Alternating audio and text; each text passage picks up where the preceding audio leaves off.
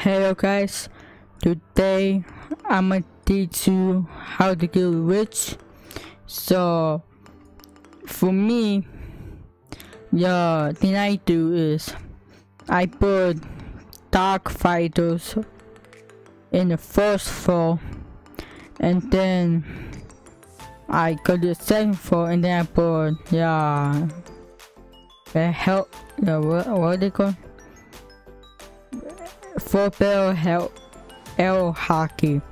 And basically um easy to gold or rainbow?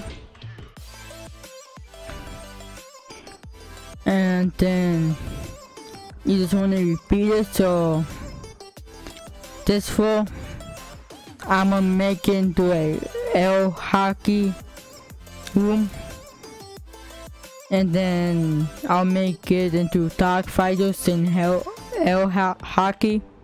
And after making millions of um of this um theme but if you want to make more money you should use the, your entire building to be full of um air hockey games.